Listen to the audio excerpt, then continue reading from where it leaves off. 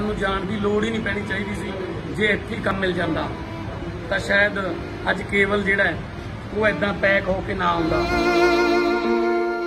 ਜੇ ਦੋ ਰੋਟੀਆਂ ਖਾਣੇ ਹੋ, ਇੱਕ ਖਾ ਲਓ, ਜੇ ਇੱਕ ਖਾਣੇ ਹੋ, ਤਾਂ ਅੱਧੀ ਖਾ ਲਓ ਘੱਟੋ ਘੱਟ ਆਪਣੇ ਪਰਿਵਾਰ 'ਚ। ਮੈਂ ਅੱਜ ਇਹ ਵੀਡੀਓ ਬੜੇ ਦੁੱਖ ਵਾਲੇ ਮਾਹੌਲ 'ਚ ਬਣਾ ਰਿਹਾ ਇਸ ਵਕਤ ਲਗਭਗ 12 ਵੱਜਣ ਵਾਲੇ ਨੇ 12 ਸਤੰਬਰ ਦੀ ਅੱਧੀ ਰਾਤ ਹੈ। ਤੇ ਮੈਂ ਦਿੱਲੀ ਦੇ 에ਅਰਪੋਰਟ ਦੇ ਕਾਰਗੋ ਦੇ 3 ਨੰਬਰ ਗੇਟ ਤੇ ਖੜਾ ਸਾਡੇ ਨੌਜਵਾਨ ਪੰਜਾਬ ਦੇ ਮੁੰਡੇ, ਕੁੜੀਆਂ, ਧੀਆਂ ਪੁੱਤ ਸਾਡੇ ਰੋਜ਼ੀ ਰੋਟੀ ਲਈ ਵਿਦੇਸ਼ਾਂ ਜਾਂਦੇ ਨੇ, ਚੰਗੇਰੇ ਭਵਿੱਖ ਲਈ ਜਾਂਦੇ ਨੇ, ਪਰ ਉੱਥੇ ਜਾ ਕੇ, ਕੁਦਰਤ ਵੱਲੋਂ ਭਾਣਾ ਵਾਪਰ ਜਾਂਦਾ ਹੈ ਜਾਂ ਕਿਸੇ ਮੁਸੀਬਤ 'ਚ ਫਸ ਜਾਂਦੇ ਨੇ ਤੇ ਹਾਲਾਤ ਇਹ ਹੋ ਜਾਂਦੇ ਨੇ ਕਿ ਉਹ ਨਹੀਂ ਝੱਲ ਸਕਦੇ ਉਹਨਾਂ ਮੁਸੀਬਤਾਂ ਨੂੰ ਤੇ ਉਹਨਾਂ ਨੂੰ ਜਾਨ ਤੋਂ ਵੀ ਹੱਥ ਧੋਣੇ ਪੈ ਜਾਂਦੇ ਨੇ। ਤੇ ਉਸ ਤੋਂ ਬਾਅਦ ਫਿਰ ਪਰਿਵਾਰ ਤੇ ਕੀ ਬੀਤਦੀ ਹੈ ਕਿ ਇੱਕ ਵਾਰੀ ਮਿੱਟੀ ਆ ਜੇ, ਇੱਕ ਵਾਰੀ ਆਖਰੀ ਦਰਸ਼ਨ ਕਰ ਲਈਏ ਬਸ।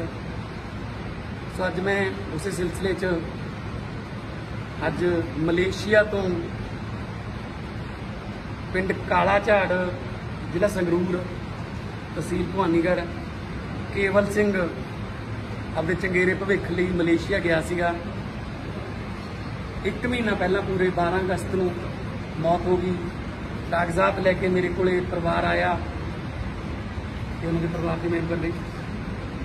ਤੇ ਅਸੀਂ ਆਪਣੇ ਵੱਲੋਂ ਵਿਦੇਸ਼ ਮੰਤਰਾਲੇ ਨੂੰ ਕਾਗਜ਼ਾਤ ਭੇਜੇ। ਮਲੇਸ਼ੀਆ ਹੈਲਪਿੰਗ ਹੈਂਡ ਨਾਂ ਦੀ ਇੱਕ ਸੰਸਥਾ ਬਣਾਈ ਹੋਈ ਹੈ। ਉੱਥੇ ਬਹੁਤ ਵਧੀਆ ਮੁੰਡਿਆਂ ਨੇ ਤੇ ਬਹੁਤ ਹੈਲਪ ਕਰਦੇ ਨੇ। ਸੱਚੀ ਮੁੱਚੀ ਉਹਨਾਂ ਦਾ ਨਾਮ ਹੈਲਪਿੰਗ ਹੈਂਡ ਹੀ ਹੋਣਾ ਚਾਹੀਦਾ ਸੀ। ਉਹਨਾਂ ਨੇ ਹਸਪਤਾਲ ਦੇ ਵਿੱਚ ਜਾ ਕੇ ਡੈੱਡ ਬੋਡੀ ਕਿਉਂਕਿ ਐਮਬੈਸੀ ਨੇ ਉਹਨਾਂ ਨਾਲ ਕੰਟੈਕਟ ਕੀਤਾ ਜਦੋਂ। ਤਾਂ ਡੈੱਡ ਬੋਡੀ ਰਿਸੀਵ ਕਰਕੇ ਸਾਰੀਆਂ ਫਾਰਮੈਲਿਟੀਆਂ ਕਾਗਜ਼ਾਤ, ਪੈਸੇ ਧੇਲੇ ਦੀਆਂ ਵੀ ਸਾਰੀਆਂ ਫਾਰਮੈਲਿਟੀਆਂ ਉਹਨਾਂ ਨੇ ਕੀਤੀਆਂ ਨੇ। ਮੈਂ ਮਲੇਸ਼ੀਆ ਹੈਲਪਿੰਗ ਹੈਂਡ ਦਾ ਬਹੁਤ ਧੰਨਵਾਦ ਕਰਨਾ ਚਾਹਨਾ ਉਹਨਾਂ ਸਾਰੇ ਅਹੁਦੇਦਾਰਾਂ ਦਾ ਜਿਹੜੇ ਵੀ ਉਹਨਾਂ ਦੇ ਵਲੰਟੀਅਰ ਨੇ ਮੁੰਡੇ, ਇਹ ਪਹਿਲੀ ਗੱਲ ਨਹੀਂ, ਇਸ ਤੋਂ ਪਹਿਲਾਂ ਵੀ ਮਲੇਸ਼ੀਆ ਹੈਲਪਿੰਗ ਹੈਂਡ ਨੇ। ਕਈ ਵਾਰੀ ਸਾਡੀ ਹੈਲਪ ਕੀਤੀ ਹੈ। ਡੈੱਡ ਬੋਡੀਜ਼ ਜਾਂ ਕੋਈ ਜੇਲ੍ਹ 'ਚ ਹੁੰਦੇ ਆ ਬੰਦੇ, ਕਿਉਂਕਿ ਵੀਜ਼ਾ ਵੂਜ਼ਾ ਇੱਥੋਂ ਏਜੰਟ ਲਾਲਚ ਦੇ ਕੇ ਲੈ ਜਾਂਦੇ ਆ। ਬਹੁਤ ਸਾਰੇ ਮੁੰਡੇ ਮਲੇਸ਼ੀਆ ਦੇ ਜੇਲ੍ਹਾਂ 'ਚ ਵੀ ਬੈਠੇ ਆ। ਫਿਰ ਜੇਲ੍ਹ 'ਚ ਜਾ ਕੇ ਮਿਲ ਕੇ ਆਉਂਦੇ ਆ, ਫਿਰ ਵਕੀਲ ਵਕੂਲ ਕਰਕੇ ਦੇ ਦੇ। ਮੈਂ ਇਸ ਮਾਹੌਲ ਤੇ ਕੋਈ ਰਾਜਨੀਤੀ ਨਹੀਂ ਕਰਦਾ। ਮੈਂ ਹੱਥ ਬੰਨ੍ਹ ਕੇ ਬੇਨਤੀ ਕਰਨਾ ਚਾਹੁੰਦਾ, ਪਹਿਲੀ ਗੱਲ ਤਾਂ ਸਾਨੂੰ ਜਾਣ ਦੀ ਲੋੜ ਹੀ ਨਹੀਂ ਪੈਣੀ ਚਾਹੀਦੀ ਸੀ, ਜੇ ਇੱਥੇ ਕੰਮ ਮਿਲ ਜਾਂਦਾ, ਤਾਂ ਸ਼ਾਇਦ ਅੱਜ ਕੇਵਲ ਜਿਹੜਾ ਹੈ, ਉਹ ਐਦਾਂ ਪੈਕ ਹੋ ਕੇ ਨਾ ਆਉਂਦਾ, ਇੱਕ ਬਕਸੇ ਦੇ ਵਿੱਚ। ਕੋਸ਼ਿਸ਼ ਕਰੋ, Malaysia, Saudi Arab, Kuwait, Muscat, Dubai, ਇਹਨਾਂ ਕੰਟਰੀਆਂ ਜਾਣ ਤੋਂ ਪਹਿਲਾਂ ਕਈ ਵਾਰੀ ਸੋਚੋ, ਕਿਉਂਕਿ ਇੱਥੇ ਬਹੁਤ ਜ਼ੁਲਮ ਹੁੰਦੇ ਨੇ ਏਜੰਟ ਜਿਹੜੇ ਨੇ ਉਹ ਲਾਲਚ ਦੇ ਕੇ ਤੁਹਾਨੂੰ ਲੈ ਜਾਂਦੇ ਨੇ। ਪਰ ਉੱਥੇ ਜਾ ਕੇ ਕੋਈ ਬਾਹ ਫੜਨ ਵਾਲਾ ਨਹੀਂ ਹੁੰਦਾ। ਫਿਰ ਤਾਂ ਮਤਲਬ ਡੈੱਡ ਬੋਡੀ ਮੰਗਾਉਣਾ ਵੀ ਇੱਕ ਕੰਮ ਬਣ ਜਾਂਦਾ ਕਿ ਸਾਡਾ ਕੰਮ ਬਣ ਗਿਆ ਜੀ। ਸੋ ਮੈਂ, ਇਹ ਮੇਰੇ ਲਈ ਪਹਿਲਾ ਤਜਰਬਾ ਨਹੀਂ ਹੈਗਾ। ਪਰ ਮੈਂ, ਮੇਰੇ ਜਿਹੜੇ ਵੀ ਮੁੰਡੇ ਨੇ ਸਾਰੇ, ਕਾਲਾ ਝਾੜ ਪਿੰਡ ਹੈ, ਚੰਨੋ ਦੇ ਨੇੜੇ। ਤੇ ਅੱਜ ਕੇਵਲ ਦੀਆਂ ਹਸਤੀਆਂ, ਕੇਵਲ ਦੀ ਡੈੱਡ ਬੋਡੀ ਆਈ ਹੈ ਪ੍ਰਮਾਤਮਾ। ਅੱਗੇ ਅਰਦਾਸ ਹੈ ਕਿ ਚਰਨਾਂ 'ਚ ਨਿਵਾਸ ਬਖਸ਼ੇ। ਹੋਰ ਤਾਂ ਕੁਝ ਨਹੀਂ ਹੋ ਸਕਦਾ। ਸਿਰਫ ਮਿੱਟੀ ਹੈ। ਪਰਿਵਾਰ ਜਿਹੜਾ ਰਿਸ਼ਤੇਦਾਰ ਜਿਹੜੇ ਨੇ, ਉਹ ਮਿੱਟੀ ਦੇ ਦਰਸ਼ਨ ਕਰ ਲੈਣਗੇ।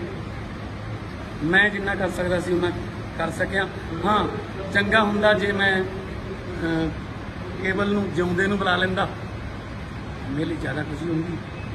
ਪਰ ਪ੍ਰਮਾਤਮਾ ਨੂੰ ਜੋ ਮਨਜ਼ੂਰ ਸੀ, ਪਰ ਕੋਸ਼ਿਸ਼ ਕਰਿਓ। ਇਹਨਾਂ ਮੁਲਕਾਂ 'ਚ ਨਾ ਜਾਓ, ਉੱਥੇ ਜਾ ਕੇ ਫਸ ਜਾਂਦੇ ਹੋ। ਨਾ ਕੋਈ ਮੈਡੀਕਲ ਸਹੂਲਤ ਮਿਲਦੀ ਹੈ, ਨਾ ਕੋਈ ਤੁਹਾਨੂੰ ਉੱਥੇ ਜਾਣਦਾ ਹੈ, ਨਾ ਕਿਸੇ ਰਿਸ਼ਤੇਦਾਰ ਨਾਲ ਗੱਲ ਕਰ ਸਕਦੇ ਹੋ, ਨਾ ਕੋਈ ਫੋਨ ਖੋਲ ਲੈਂਦੇ ਨੇ ਪਾਸਪੋਰਟ ਖੋਲ ਲੈਂਦੇ ਨੇ।